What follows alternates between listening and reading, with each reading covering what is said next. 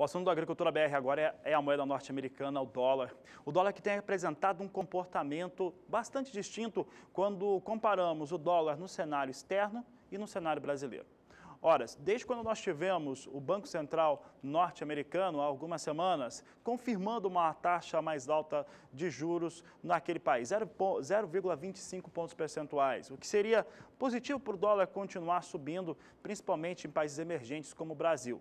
Mas na sequência, como foi anunciado no mesmo dia, que só haveriam duas novas altas, isso fez com que o mercado, que não tinha precificado isso, aguardava elevações em períodos maiores nessa, nessa, nesse sentido no ano de 2017, acabou tendo eh, esse recuo. O dólar acabou ficando é, pressionado e isso fez com que tivesse uma certa distração em relação ao que acontecia com a moeda norte-americana, que acabou cedendo, uma vez que não estava precificando, precificada esta situação. Aqui no Brasil, nós tivemos alguns momentos é, diferentes do que vinha acontecendo no cenário externo. Primeiro, uma valorização para a moeda norte-americana, depois, uma expectativa de que o dólar viesse a cair por conta daquilo que foi aprovado pelo governo brasileiro, pelo Senado Federal e pela Câmara em relação a uma segunda etapa de repatriação de recursos, mesmo quando o dólar começou a reagir no cenário externo.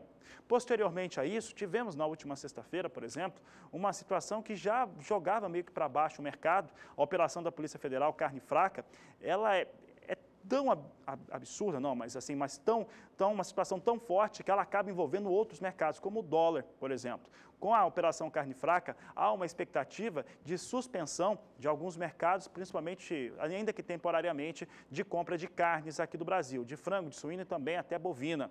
E foi o que acabou acontecendo em relação a países importantes como China. Entretanto, como foi confirmada a repatriação de recursos, aí o dólar, mesmo subindo fora do, do país, o dólar aqui no Brasil recuava. Neste momento, nós temos o dólar caindo fora do Brasil e, e, subindo aqui no mercado interno. Aí por uma outra questão, questão dos números da economia nacional que foram apresentados nesta semana e que não são lá muito positivos. Vamos aos números então. Nós temos aqui dados relacionados ao dólar index. O dólar index é o dólar frente às principais moedas do mundo e observe aquilo que eu estava dizendo. O dólar veio numa escalada entre o final de fevereiro e o começo de março de elevação. No dia 23 de fevereiro era de 101,05 pontos, no dia 2 chegou a 102,20 pontos. Depois disso começa a recuar. No dia 14 de março caiu para 101,70, no dia 21 de março perdeu o patamar de 100 pontos, veio para 99,81 e vinha há pouco, nesse 23 de março, a 99,72 pontos.